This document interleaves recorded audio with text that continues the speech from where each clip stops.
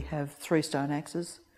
One we know has come from Mount William up in the Grampians, one's come from Mount William near Lara, and the third one we believe has come from somewhere over near Casterton, indicating that the tribes moved fairly frequently and would trade goods and things with uh, the, the, other local tribes. What I've got in my in my hand is um, it's a green stone axe. It's pretty common throughout the uh, the western districts. Um, it's been uh, used a lot for trade, but more importantly, it's a it's an object that it's um, it's been uh, grinded on each side to form an axe shape uh, for cutting uh, certain things. So it was really important in Aboriginal lifestyle, especially through uh, country. Um, a lot of these objects you'll find around a lot of waterways, also campsites. Here we have a um, grinding stone, which was also used in two facets. One side was for grinding the seeds for your flour and that, and the other side, which was also used for your fire. So the little indent there, they would put the main stick in there for friction. They put bark or whatever. And then in this part they would fill it with extra grass so the, as you can see the little leverage there, that would go down the channel and then they'd start to blow on it and then they'd start their fire.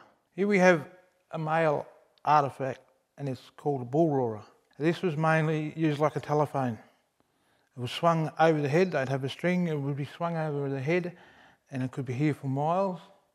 So the people, like, say, down the road would hear it and they would say, Oh, there's a meeting on tonight. Until um, the contact period, most of the tools that were made had no decoration on them at all. Um, they were plain, pure, simple, made to do the job and not to be some sort of showpiece. On my left hand is your normal hunting spear. It was mainly just used for hunting and nothing else. Kangaroos, wallabies, possums, whatever was about at the time. And this one here was used for your war because of the barbs on it. So when this penetrated into the person, there's only one way it'll go, straight through you. The shield, for example, it's got all this lovely work done to it. But the work's certainly not going to stop the spear from coming at you, you know. The, Ang- the Angle Club had two purposes. One was for digging, and the other one was for inflicting pain on your mortal enemy. Now, the way it works is the shield here, as you see, was used for parrying. Okay, so if you could not get around your enemy, you would go for the hand or if he was across the top like that, you'd come over the top into the head. If he was trying to underneath, you would come underneath with the angle club. And that was mainly light. The shield was light because you also had your spears with you and your stone axe when you're in war. We're very fortunate to have a message stick because Ramsay didn't understand the tradition of the Aboriginal people in that the message stick should have been burnt in the fire when it arrived. And so we have a traditional message stick that is marked with Bobby's markings. This is what you need to get from one boundary to another into someone else's country. And if you look closely, you'll see the name of the person, in this case who made it, which is we know is old Bobby, right? And also it is marking of his mob, his clan, his tribe, as you can likely see.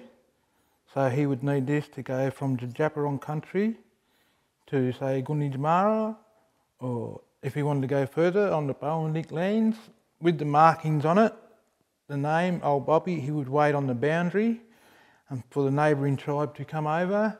Then he would pass the message stick on to them and they would look at the markings on it. They would know who's his clan, what his blood grouping is, his kinship structure, and his name, most of all. So they knew he was passing through their country and they would return it to him for safe passage. So if he went on to the next mob, he would have to show them the same.